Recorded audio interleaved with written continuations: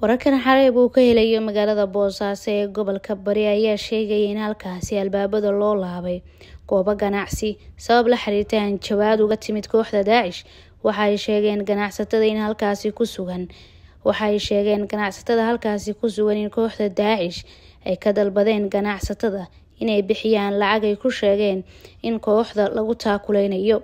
Dhowr qof oo ka mid a ganacsatada magaalada boosaaso ayaa sheegay in lagula soo hadlay telefoon loona sheegay in haddii aysan bixinin ay gubayaan goobaha ganacsiga arrintan ayaa saameyn waxa ku yeelatay dadka ku nool magaalada boosaaso ee gobolka bari kuwaas oo walwal ka qaba xaalada amni darro ee ka jirta magaalada maalmo ka hor koox hubeysan oo aan la aqoonsan hase ahaatee loo maleynayo kooxda daacish ayaa bamgacmeed ku weeraray sida la sheegay goob ganacsi oo ku yaalla magaalada boosaaso.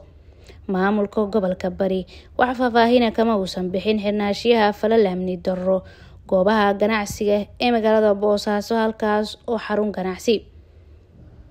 Kooxda daacish ayaa ka dagaalanta buuraha galgala halkaas oo marar badan ay isku fara saareen iyaga iyo kuwa maamul goboleedka puntland.